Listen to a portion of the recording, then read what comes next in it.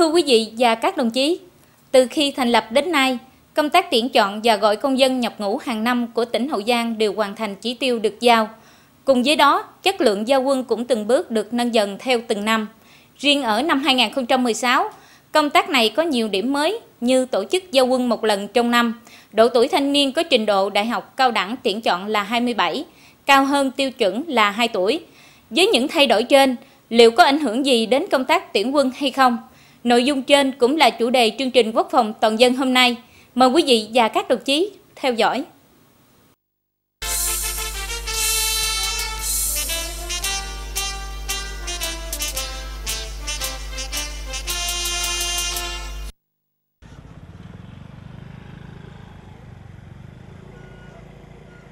Chuẩn bị cho công tác tuyển chọn và gọi công dân nhập ngũ năm 2016, từ tháng 11 năm 2015, các địa phương trong tỉnh đã bắt tay vào thực hiện các quy trình theo quy định như xét duyệt chốt nguồn, tuyển chọn sức khỏe thanh niên và đến thời điểm này, các địa phương đang tiến hành khâu bình nghị bước 2.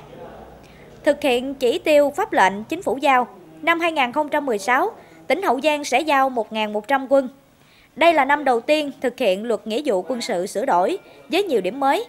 Cụ thể như tổ chức giao quân một lần duy nhất trong năm, không còn chia làm hai đợt. Độ tuổi gọi nhập ngũ là 25, riêng đối với thanh niên có trình độ đại học cao đẳng là 27 tuổi. Chính vì vậy, các địa phương đều có sự sắp xếp, tổ chức thực hiện chu đáo, phấn đấu hoàn thành chỉ tiêu tỉnh giao. Đảng ủy, à, ban chỉ huy sự huyện đã phân công trách nhiệm của từng thành viên à, ban chỉ huy sự huyện để à, mỗi một người theo chức trách điều hành thực hiện à, theo nhiệm vụ à, trong quá trình thực hiện những cái mảng nào lĩnh vực nào cá nhân phụ trách nếu ờ, nó chưa nó chưa có sát yêu cầu nhiệm vụ thì à, từng thành viên trong ban chỉ huy có hỗ trợ nhau để à, để để đáp ứng được cái yêu cầu nhiệm vụ đặt ra. À, đến giờ này thì qua cái khám sức khỏe chính thức thì tình hình sức khỏe của thanh niên đối với năm nay có chất lượng đạt là rất cao à, so với à, năm 2015 thì à, qua cái khám chính thức đó thì chúng tôi cái, cái kết quả khám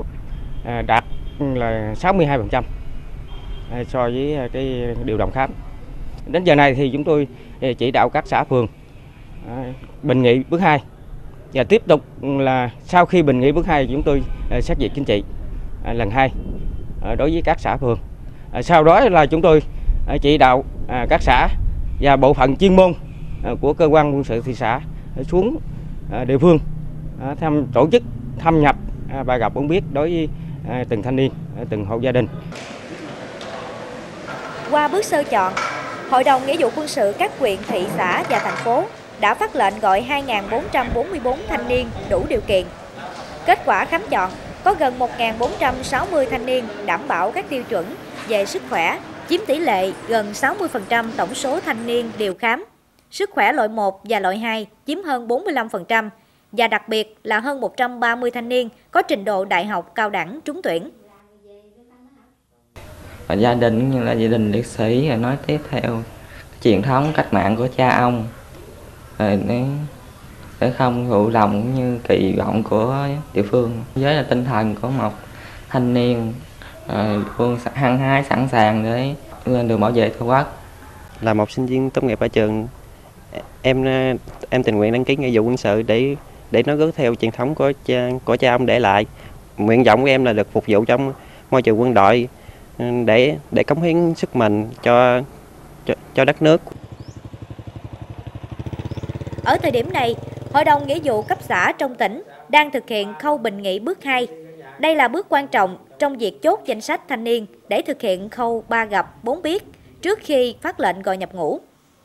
Ngoài ý thức trách nhiệm của các thanh niên trúng tuyển, Hội đồng Nghĩa vụ quân sự các địa phương đã tăng cường công tác tuyên truyền, giải thích những thắc mắc của thanh niên và gia đình. Nhờ vậy mà hiện nay hầu hết gia đình có con em trúng tuyển đều động viên con em sẵn sàng lên đường khi có lệnh gọi nhập ngũ. Ban chỉ huy sự ờ, phường cũng tham mưu cho hội đồng nghĩa vụ quân sự ờ, của phường tổ chức cái ờ, bước thứ bảy trong cái thực hiện cái hướng dẫn 1016 của Bộ Tư lệnh Quân khu 9 về thực hiện các cái bước tuyển chọn về công nhân ngũ thì chúng tôi là tổ chức là bình nghị nghĩa vụ quân sự lần 2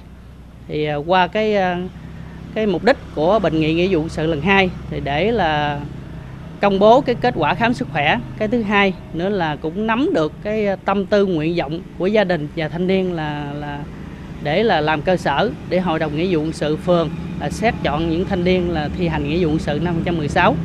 thì qua đó là cũng ờ, giải trình những cái ý kiến, thắc mắc của bà con nhân dân những cái tâm tư nguyện vọng của gia đình và thanh niên để làm cho là gia đình và thanh niên là yên tâm để ờ, thực hiện nghĩa vụ quân sự. Ừ, lo thì cũng có phần lo nhưng mà con mình đi được nhà nước đào tạo cũng vui lắm cho nó nên người với người ta. Cũng vui thôi. À, cũng có mà dạy dỗ con cái đó. Khi mà đi đó mình cũng là nên người với người ta mình tập theo anh em người ta. Sau là phòng số 3 riêng đối với huyện Long Mỹ là địa phương vừa được chia tách nhân sự hoàn thành mới nhưng nhờ sự chỉ đạo tổ chức chặt chẽ của đảng ủy ban chỉ huy quân sự huyện nên các khâu theo quy trình tuyển chọn và gọi công dân nhập ngũ đều được thực hiện chu đáo theo chỉ tiêu năm nay huyện Long Mỹ sẽ giao 130 quân trên cơ sở đó Hội đồng Nghĩa vụ quân sự huyện đã điều khám 240 thanh niên và có 169 thanh niên đủ điều kiện về sức khỏe. Đặc biệt,